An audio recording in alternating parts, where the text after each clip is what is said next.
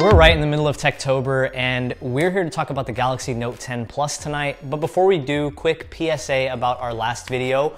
Uh, the comments and the subscribers have been through the roof since we posted about that giveaway and we really love the support but I believe there's some small confusion about what we're actually giving away. So unfortunately, we're not giving away any smartphones. We're giving away cases for particular smartphones. And those smartphones are the Pixel 3a XL, the iPhone 11, the iPhone 11 Pro, and the iPhone 11 Pro Max, the iPhone 10s, and I believe that's it. So in terms of what we're actually giving away, they're cases, not smartphones. But don't think that you guys subscribing is actually going to waste because the bigger this channel gets, the more stuff we get from companies better stuff and we'll give those away as well. So we definitely love all the love and subscriptions, but just know that we're giving away cases, not phones, but you never know.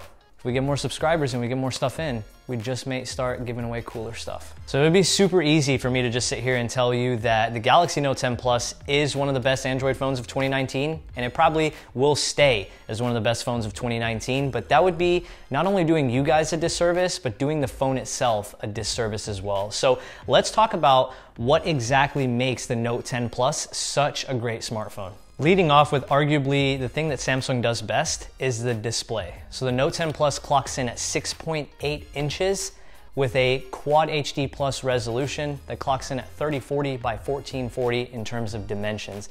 And DisplayMate ran a test in terms of overall display quality, color reproduction, and they said that this display is virtually indistinguishable from perfect. And I gotta say, that claim absolutely holds true.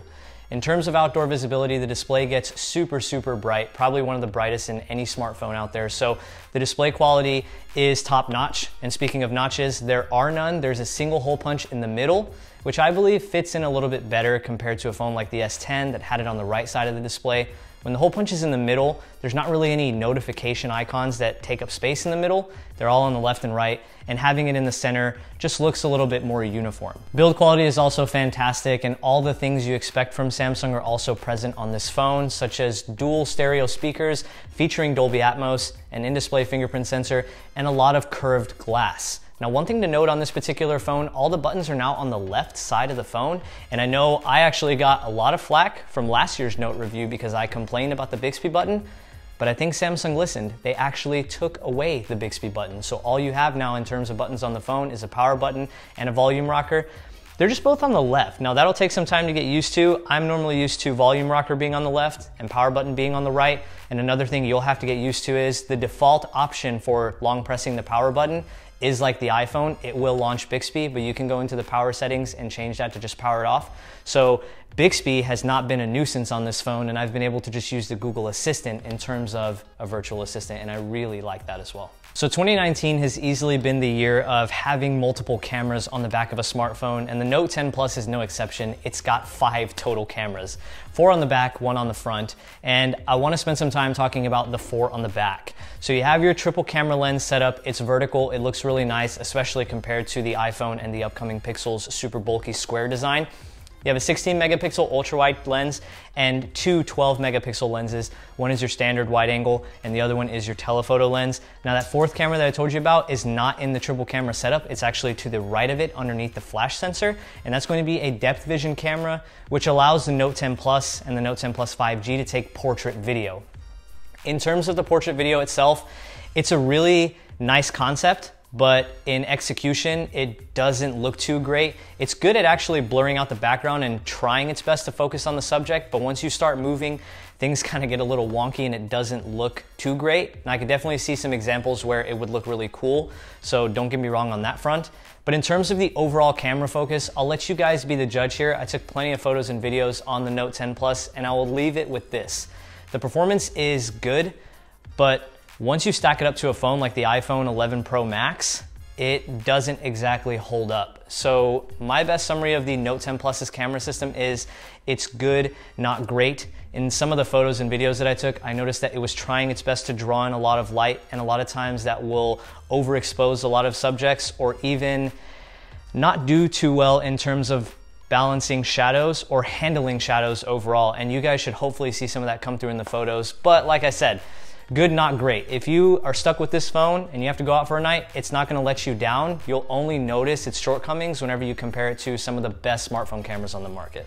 Now, while the camera is good at best, two aspects of the phone that really shine through are its performance and its battery life. So let's talk about the internals of the Note 10 Plus.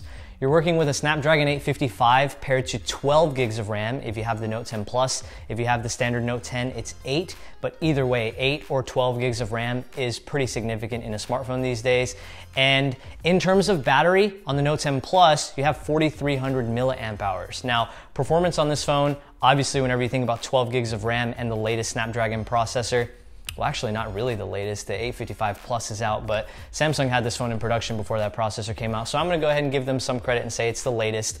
Um, the phone is a trailblazer, and I'm talking it handles anything that you need it to do. It's basically Samsung's version of a super productive cell phone. It even has the ability to plug into a computer or a monitor of some sort and act as a mobile computer. It's got tons of storage and anything you want to do. I even have games on it like NBA 2K Mobile and Pokemon Go, and the phone doesn't skip a beat whenever you run games on it. So anything you need the phone to do, performance wise, it's totally, totally capable. And in terms of battery life, I'm easily getting six hours or more of screen on time consistently every single day.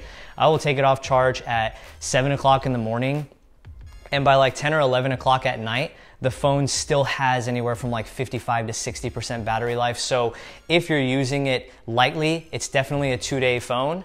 Um, but if you get accessories with this phone, like a battery bank or a fast charger, which Samsung offers both, and we'll touch on those accessories later, the phone is, is going to be a battery champion. It's so much of a battery champion that Samsung has brought back the wireless reverse power share, which will allow you to wirelessly charge other devices that can take a wireless charge. So Samsung was pretty confident in the battery life of this phone, and I gotta say, it's a champion. There's honestly not a lot that I would want changed on this phone. Throughout my use with it, there were only two things that I could think of, and they're both really personal preference whenever you actually sit down and think about it. But one, I would have really liked Samsung to include a 90 hertz refresh rate on the display. Now 60 hertz is totally fine. It's basically the standard, but whenever you have phones like the OnePlus 7 Pro that use 90 hertz and now the upcoming Pixel 4, once you use 90 hertz, it's really tough to go back and see the value in 60 hertz. But like I said, that's more of personal preference. I just know that Samsung typically will save the biggest upgrades of the year for the Note line, and it would have been a better way to distinguish the Note from the S10 Plus, not just with the S Pen, but with a 90 hertz refresh rate display. And the second change that I would make is just making their software a little closer to stock. One of the biggest reasons why phones like the Pixel and OnePlus are super popular is not just because of their performance, but because they use near vanilla Android in terms of software. Now, One UI is really, really good. And again, this is probably more of a personal preference thing, but I can't imagine a phone like this that would have incredible battery life, incredible build quality, solid cameras, the best display, and also a near stock Android experience, which in turn would probably bring faster software updates. So if Samsung were to make that change, I mean, you're basically looking at a near perfect smartphone. But again, that's just my opinion. So it's more of like recommendations for a near perfect phone. Speaking of that S Pen, it's back and obviously it's better than ever. Every single time Samsung brings out a new note, they'll typically introduce a new feature to the S Pen. This year around, they've added the ability to use air gestures by flicking your wrist. Now, when I first saw this, I thought it was, again, cool in concept, but more of on the gimmicky side. I never found myself actually using the air gestures to control things like volume up and down for music and videos or like swiping through a slideshow presentation like they showed. I just don't have those type of use case scenarios for the phone. For me, it's still easier to use the volume rocker than it is to pull out the pen, push and hold a button, flick the wrist in order to actually get the volume to go up and down. I just didn't see the use case scenario there but it's still cool in the fact that it allows you to do things like make GIFs with it and use live drawing features built into Samsung software. So it's just an elevated type of experience that you just don't have on any other phone. So while that new feature is gimmicky, the S Pen is still really, really awesome to have, and it's still by far the most defining feature of the Note itself. The Galaxy Note 10 Plus comes in four colors. This really incredible Aura Glow, it also comes in Aura White, Aura Black, and Aura Blue, which is a color that you guys saw in our unboxing, if you guys actually watched it. If you didn't, click one of these pop-ups here, either on the left or the right. I can't remember which one it is. I think it's this one. But click that one. It'll take you to our unboxing so you guys can see that color. And the phone itself starts at $1,099. Now, that is super, super hefty in terms of price tag. Is it actually worth it? I would say even at that price, yes, just because of how many things the Note 10 Plus does really well. But at the deal that I got it for, it's definitely worth it. I had the Note 10 or the Note 9, I'm sorry, from last year, and I was able to trade that in towards my Note 10 Plus this year. And I got not only the Note 10 Plus, but a whole bunch of accessories, which are gonna be handed to me now. 45 watt super fast charger, got this for $25 after trade in.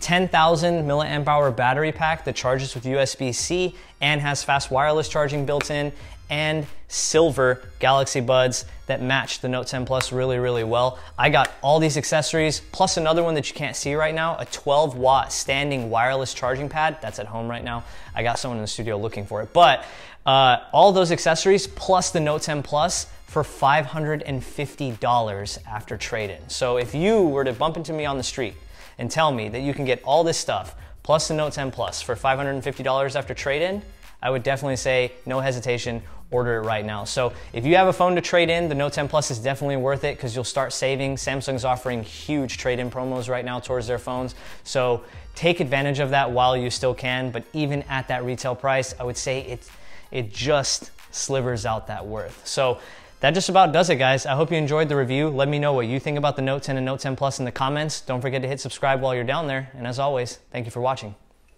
Peace.